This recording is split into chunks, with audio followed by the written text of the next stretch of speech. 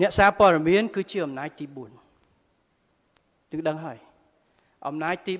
4នៅក្នុងអាជីពសារព័ត៌មានទីមួយគឺចូលរួមកំណែទាំងសំខាន់ក្នុងការវិវត្តប្រទេសជាតិនិងពង្រឹងលទ្ធិប្រជាធិបតេយ្យដូចខ្ញុំនិយាយផ្អែកទៅលើមូលដ្ឋានច្បាប់ទី2អ្នកសារព័ត៌មានគឺជាអ្នកផ្ដល់ព័ត៌មានយ៉ាងសំខាន់ទៅដល់សាធារណមតិសាធារណជនឲ្យគាត់ដឹងថាស្អីខ្លះកើតនៅក្នុងប្រទេសគាត់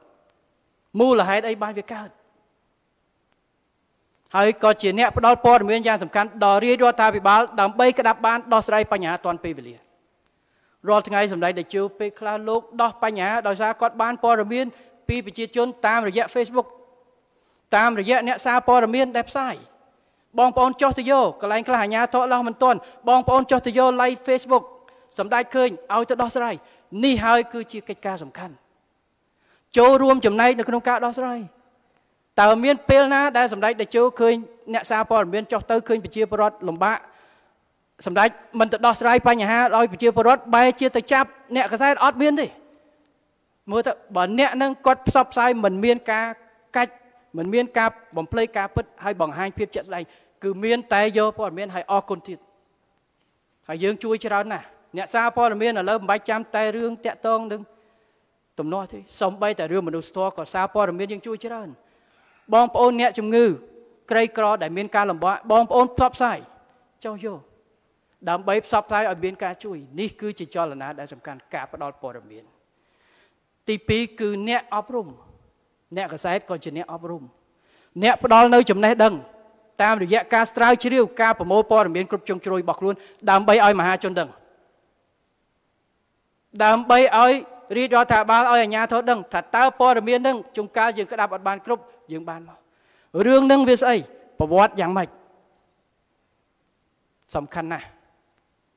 យើងអប់រំមិនមែនតែអប់រំនៅក្នុងសាលាទេអប់រំប្រចាំថ្ងៃ ការក្តាប់បាន នៅព័ត៌មាន គឺជាកិច្ចការសំខាន់ទី4អ្នកកសែតគឺគឺថាបើអង់គ្លេសថា check and balance ជាអ្នកត្រួតពិនិត្យនិងដាក់ឲ្យមានតលយៈភាព គាត់ជាកែវយឹតមួយសម្រាប់ឆ្លោះបើសិនជាពីណាអនុវត្តលើព្រំដែនយើងអនុវត្តឆ្លោះយើងឆ្លោះប្រចាំងឲ្យលឿនឲ្យតាន់ពេលវេលានឹងឲ្យអំណាចទី4มันអាចអំណាចទៅចាប់ចងគេទេប៉ុន្តែអំណាចដើម្បីដាក់កែវយឹតដើម្បីឲ្យរាជរដ្ឋាភិបាលបានឃើញដើម្បីឲ្យមហាជនបានឃើញតាទង្វើដែលមិនមិនពិតមិនល្អនៅក្នុងសង្គមទី5 គឺជាអ្នកចូលរួមនៅក្នុងការកែលម្អការងារមួយចំនួនពេលដែលអត់ទាន់មានកសែតអត់ទាន់មានការផ្សព្វផ្សាយអត់ទាន់មានអ្នកសារព័ត៌មានចោះយកអត់ទាន់មានលទ្ធភាពសិទ្ធិសេរីភាពក្នុងការបង្ហោះតាម Facebook តាមអីកន្លែងខ្លះគាត់ធ្វើមិនល្អគាត់ចេះតែលាក់លាក់ទៅប៉ុន្តែឥឡូវគឺបើកកកាយទៅហើយអញ្ចឹងគឺអ្នកនោះជួនកាលកែខ្លួនឯងតែម្ដងទី2បើមិនកែព័ត៌មានទៅដល់រាជរដ្ឋបាលគឺដើម្បីកែ ទី3គឺមានការចូលរួមចឹងអំណាចទី4គឺសំខាន់អានេះបើនៅក្នុងកងទ័ពព័ត៌មាន គឺជាអាវុធជាមធ្យោបាយនៅក្នុងការយកឈ្នះឬព័ត៌មានទី1គឺព័ត៌មាននៅក្នុងការប្រមូលយកពីភាគីម្ខាងទៀតវិភាគគ្រប់គ្រងជ្រោយធ្វើផែនការទី2ព័ត៌មានក៏មុខ2ក៏អាចជាអាវុធសម្រាប់ វាយបាឥឡូវមើលតាសង្គ្រាមនៅអ៊ុយក្រែនហើយសូវៀតមួយរុស្ស៊ីហើយគ្រប់សង្គ្រាមទាំងអស់អាមេរិកវាយនៅអាហ្វហ្គានីស្ថានសង្គ្រាមធំជាងគេប្រវត្តិគេហៅ information warfare គឺប្រើប្រព័ន្ធអេເລັກត្រូនិកផ្សព្វផ្សាយព័ត៌មានជំនាន់យើងប្រយុទ្ធគ្នានៅនេះក៏ដូចគ្នាកាលនោះអត់មានអ៊ីនធឺណិតប៉ុន្តែព័ត៌មានកសែតចេញមកផ្សព្វផ្សាយថ្ងៃនេះ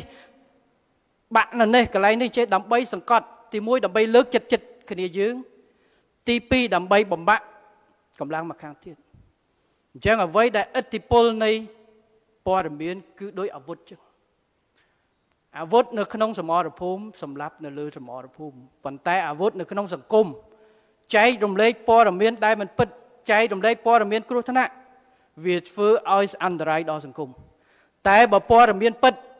ព័ត៌មានគ្រប់ជ្រុងជ្រោយ លឿនពេល គឺជាឆ្នាំដ៏ល្អបំផុតសម្រាប់សង្គមជាតិរបស់យើងដោយបងប្អូនបានលើកមកចឹង